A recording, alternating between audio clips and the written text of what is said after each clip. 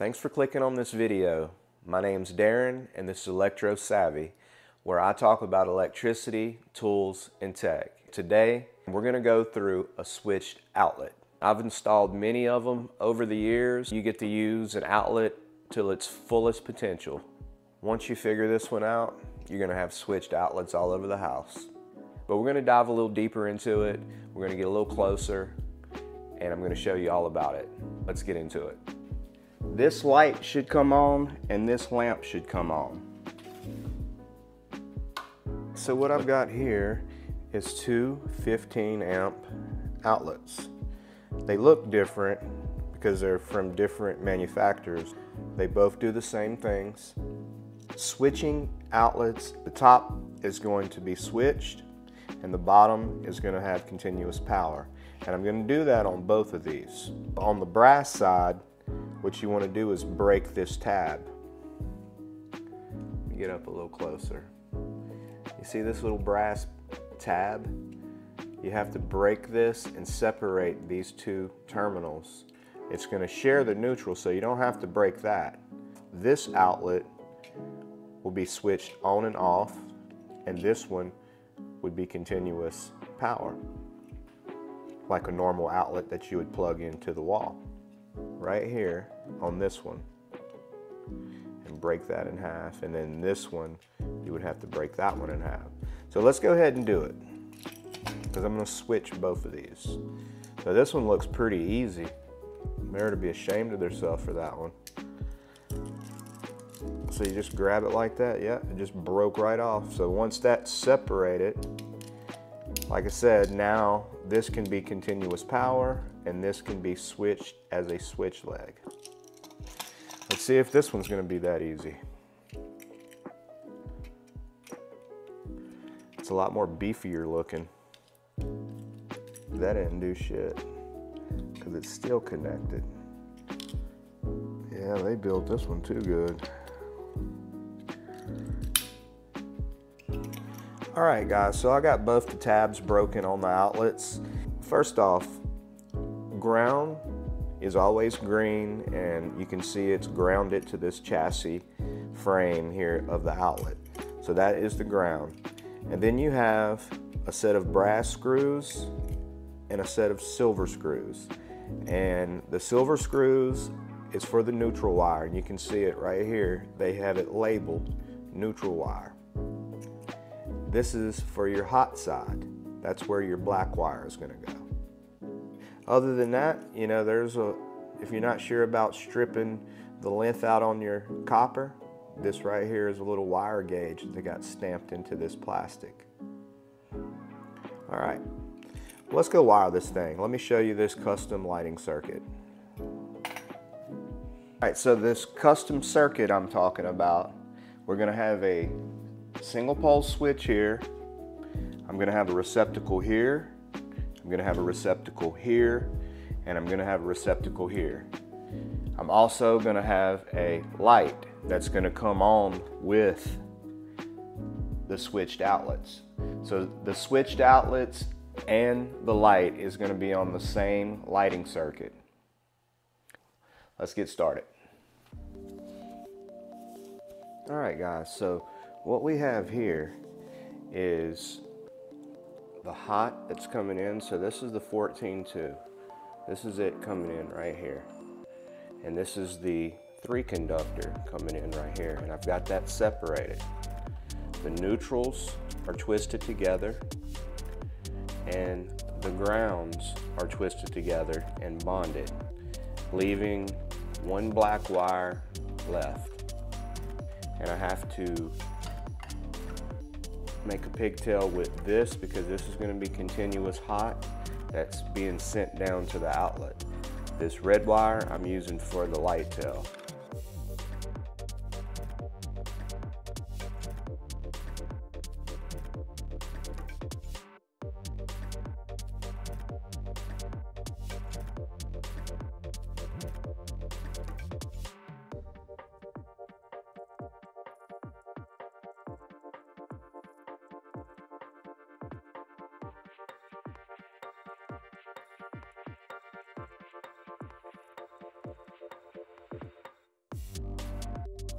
Wire nut.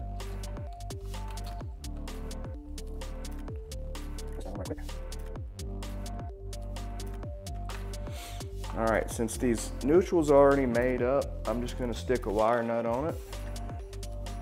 I'll use a yellow.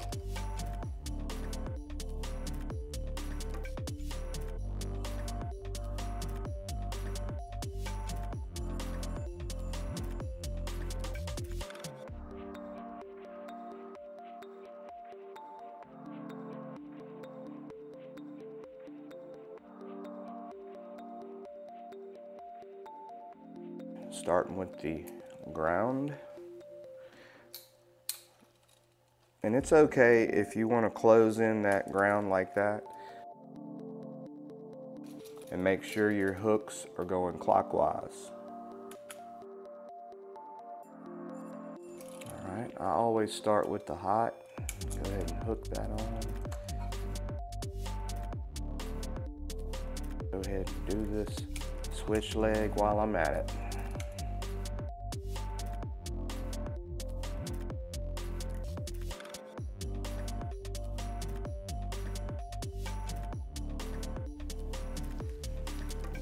Screw.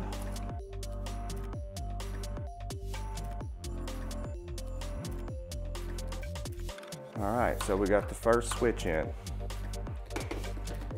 Let's move on down to the first switched outlet. All right, so on this side, what I've got is both of the three conductors separated. We've got the grounds already twisted up and here's the grounding wire nut. Let's go ahead and screw this down. I'll go ahead and screw this down and get this out of the way. So I've got these wires separated and these are the neutrals that belong to each Romex.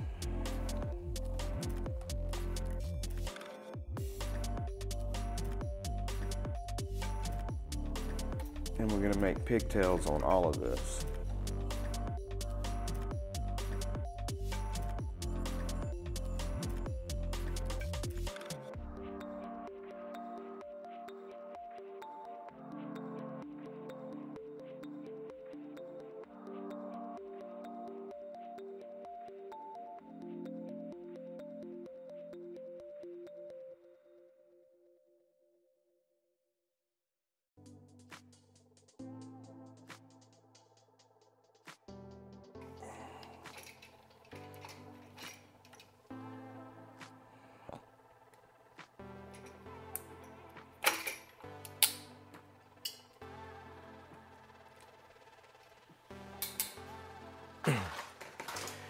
Okay, now we can wire this outlet. I'm gonna do the neutrals first.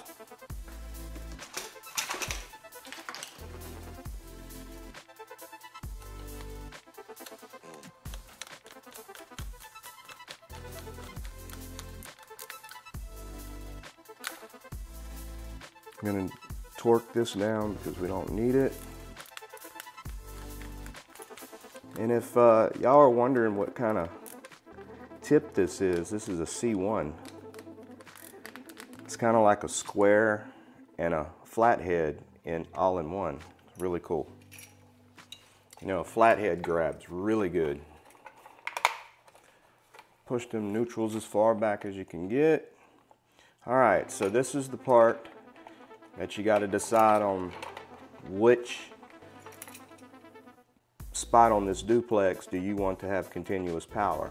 I would always run the bottom being the continuous power and I'm going to make the top part the switch leg.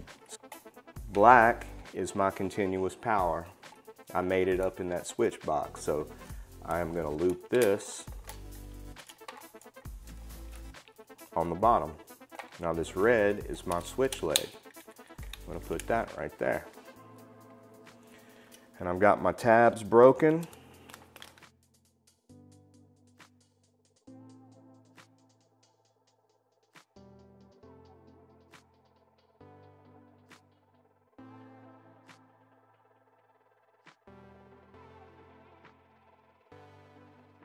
Right, that's nice and snug.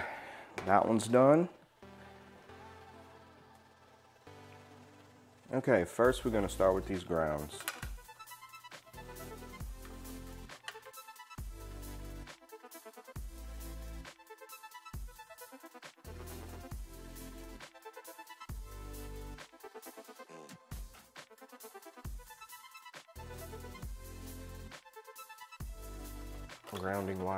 This. I really love those.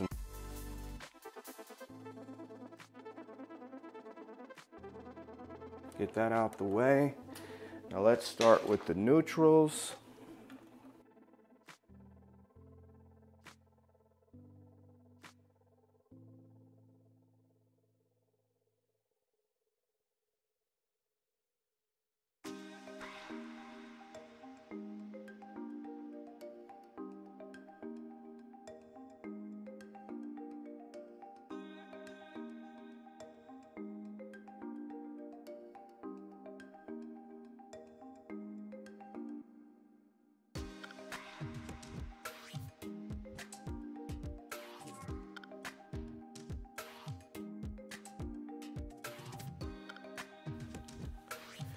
All right, so we got the neutrals out the way. Let's go ahead and get the continuous hot.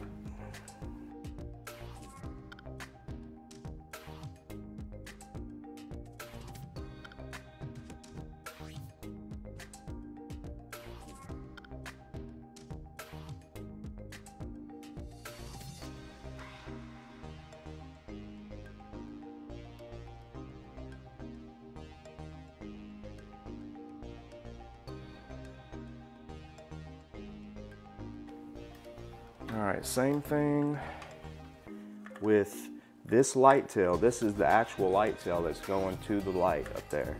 And this is the switch leg from the switch. But we want to have another switched outlet and a continuous power outlet. So we have to make another pigtail. And by doing this, when we put that under a wire nut, the light tail will be part of the switch leg.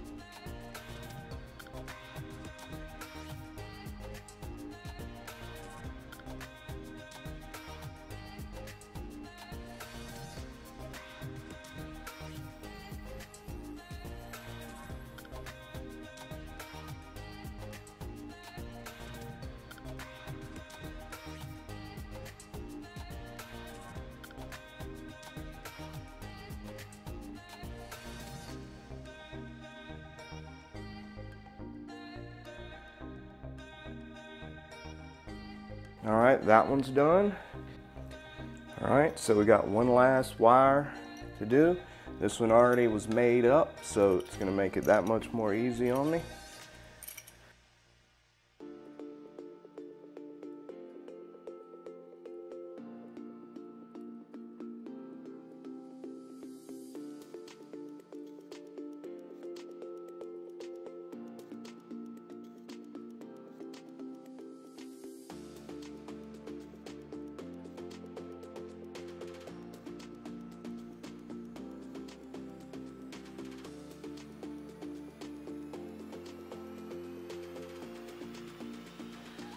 But anyway, that is it. We've got it all wired and now we can test it out.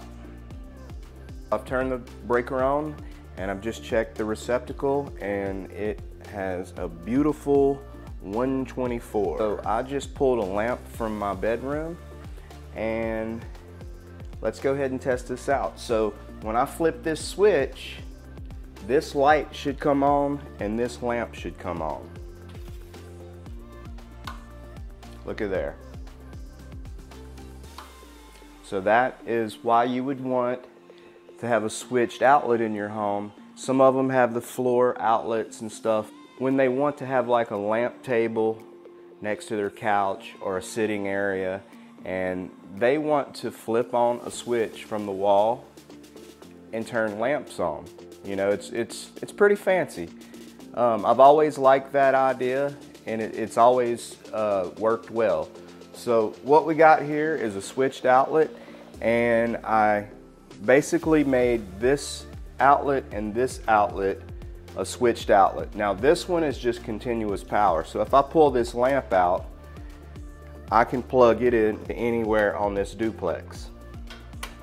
I just plug it up to the top, now I'm plugging it in the bottom. The lamp will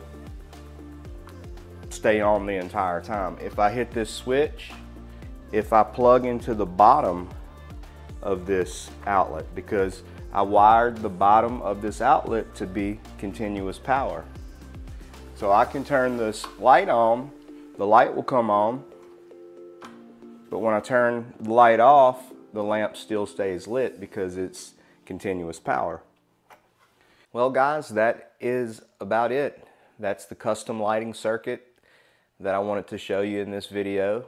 I hope you like the content that was in this video uh, covering a switched outlet.